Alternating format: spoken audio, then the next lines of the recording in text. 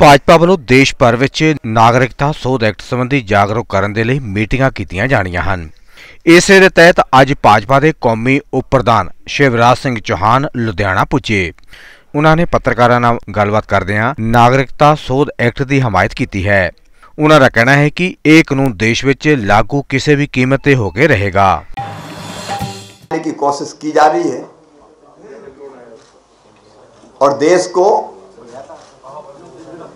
हिंसा की आग में धकेलने की साजिश रची जा रही है। लेकिन सीएए बहुत मानवीय कानून है। मैं मैडम सोनिया गांधी से पूछना चाहता हूँ सीएए का किस बात के लिए विरोध कर रही हैं? सीए में आखिर ऐसा क्या है? धार्मिक आधार पर प्रताड़ित। पाकिस्तान, बांग्लादेश और अफ़गानिस्तान में जो अल्पसंख्यक हैं, चाहे वो हिंदू हो, सिख हो, बौद्ध हो, पारसी हो, ईसाई हो, जो धार्मिक आधार पर प्रताड़ित किए जा रहे हैं और जो भारत में रह रहे हैं, उनको नागरिकता देने का कानून है ये इससे बड़ा मानवीय कानून कोई हो नहीं सकता। हम सब जानते हैं पाकिस्तान में विभाजन के दंश को भी सबसे ज़्यादा पंजाब ने भुगता है। विभाजन के समय जो हालात बने थे, उस समय पाकिस्तान में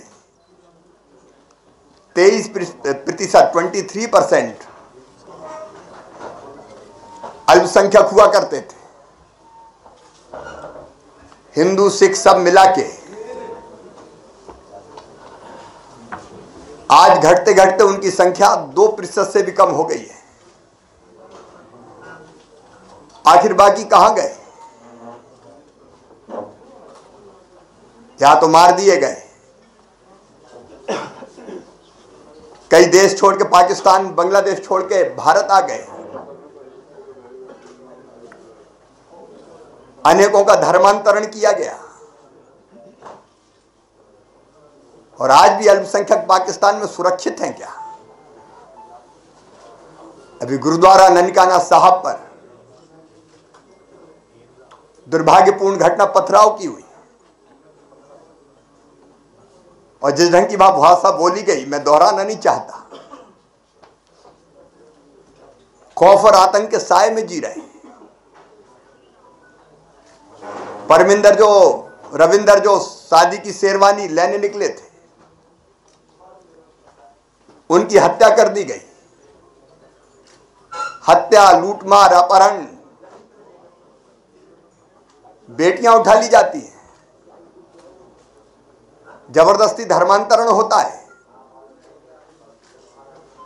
एक हज़ार बेटियाँ धर्मांतरित की जाती है और निकाह कर दिया जाता है। मियाँ मिट्टू जैसे लोग वहाँ हैं। जो धर्मांतरण के काम में ही लगे रहते हैं। वहाँ अल्पसंख्यकों की जान सुरक्षित नहीं है, मान सुरक्षित नहीं है, सम्मान सुरक्षित नहीं है। और अपने सम्मान की रक्षा की खातिर अगर कई वर्ष पहले वो भारत आ गए,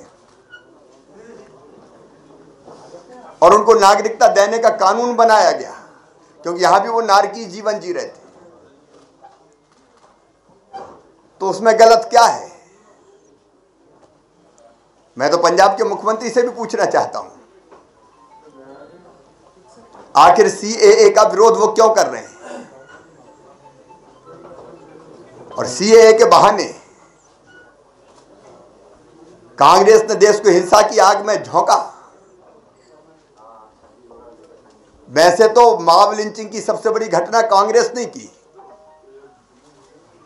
उन्नीस सौ चौरासी में एटी में जब बड़ा पेड़ गिरता है तो धरती हिलती है। जैसी भाषा बोल के तत्कालीन प्रधानमंत्री जी ने हिंसा की आग को भड़काया था। और आज कई सवाल खड़े होते हैं। मध्य प्रदेश के मुख्यमंत्री पे भी उंगली उठती है।